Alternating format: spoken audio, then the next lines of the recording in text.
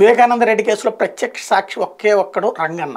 వాస్తవంగా అతను అక్కడ రెగ్యులర్గా ఉండేటువంటి సెక్యూరిటీ కాదు. రెగ్యులర్గా ఉండేటువంటి అతను వేరే ఊరికి వెళ్తే పుణ్యక్షేత్రాలకు వెళ్తే అప్పుడు ఇతన్ని పెట్టినటువంటి సందర్భం. అతను ఆ రోజున మందు మత్తులో పడుకుని నిద్రపోయాడని సిబిఐ చేసినటువంటి దర్యాప్తులో తేలింది. కానీ అతను నేను చూశానని చెప్పాడు వెనక నుండి చూశానంటూ ఈ చంపినటువంటి నలుగురు పేర్లు చెప్పాడు. వాళ్ళల్లో ఒక సన్నగా పొడుగ్గా ఉన్నటువంటి వ్యక్తి కూడా ఉన్నాడని చెప్పాడు. అతను ఎవరినో ఇంకా ఐడెంటిఫై చేయలేదు. బట్ ఇప్పుడైతే ప్రస్తుతం సిబిఐకి సంబంధించి అదే అతను బయటే ఉన్నాడు. అతను ఇంతకుముందు వన్ సిక్స్టీ ఫోర్ స్టేట్మెంట్ కోర్టులో కూడా ఇచ్చాడు. అతనికి అనారోగ్య కారణాలతో నిన్న ఆసుపత్రిలో చేర్చారు. రంగన్న తీవ్ర అస్వస్థకు గురయ్యాడు. వేక హత్య జరిగిన రోజు అక్కడే ఉన్న వాచ్మెన్ రంగన్న కోర్టుకి ఇచ్చినటువంటి వన్ సిక్స్టీ ఫోర్ స్టేట్మెంట్లో కూడా వేకాని ఎర్రగంగిరెడ్డి ఉమాశంకర్ రెడ్డి సునీల్ యాదవ్ దస్తగిరి హత్య చేశారని చెప్పాడు.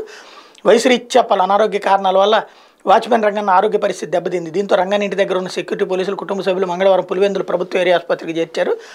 మెరుగైనటువంటి చికిత్స కోసం తిరుపతి స్విమ్స్కి తీసుకెళ్ళాలని వైద్యులు సూచించడంతో రంగన్ని అక్కడి నుండి తిరుపతి స్విమ్స్కి తీసుకెళ్ళారు.